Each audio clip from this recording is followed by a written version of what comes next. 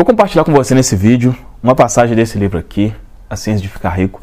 Eu já conversei com você outras vezes sobre isso aqui, mas acho que e mais de uma vez, tá? Mas todas as vezes eu sempre falo que esse aqui para mim é o trecho assim de tudo que eu já li sobre esse assunto. É, eu considero esse o, o, o trecho mais claro assim para a gente entender como que funciona essa questão de, da mentalidade relacionada a tudo, né? A gente aplica aqui mais na questão financeira, mas aplicada a tudo. Livro A Ciência de Ficar Rico, na página 29, tá? Vou ver o trecho aqui e a gente vai conversando sobre isso, olha. Pensar o que queremos implica pensar a verdade, independente das aparências. Todo homem tem o poder natural e inerente de pensar o que quer mas isso exige mais esforço do que ter pensamentos induzidos pelas aparências. Pensar de acordo com as aparências é fácil.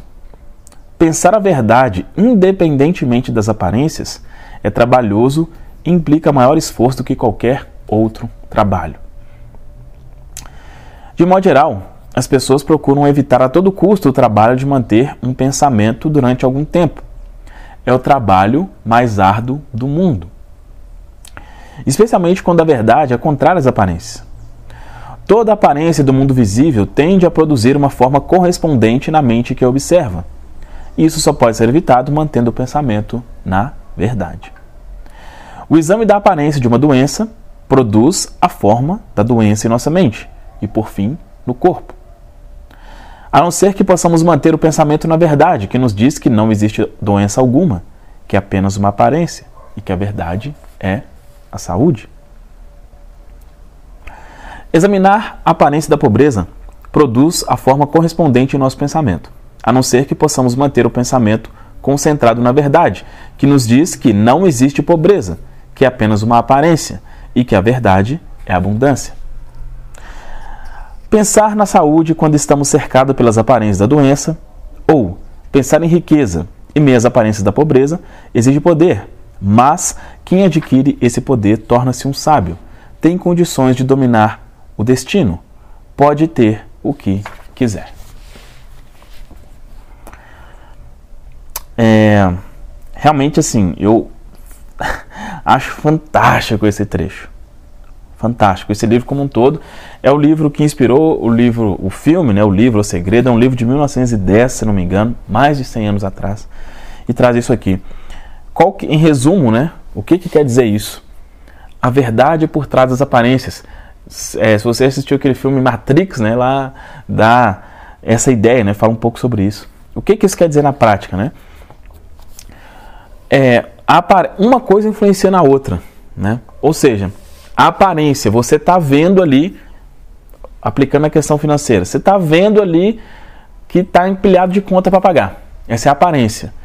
Isso coloca na sua mente: tenho dívida, tenho escassez, está tudo difícil, e essa verdade que está aqui faz com que essa aparência continue e vira um círculo vicioso, né?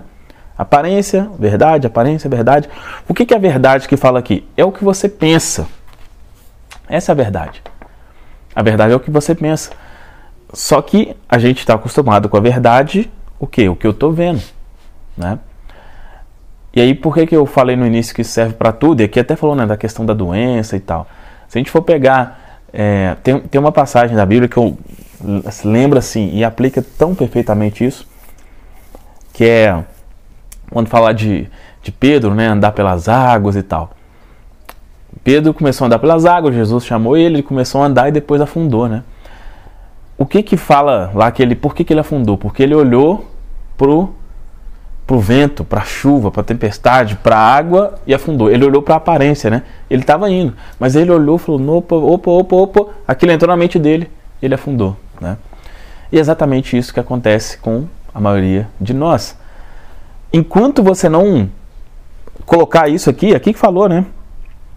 Ó, examinar a aparência da pobreza produz a forma correspondente em nosso pensamento a não ser que possamos manter o pensamento concentrado na verdade, que nos diz que não existe pobreza, que é apenas uma aparência e que a verdade é abundância.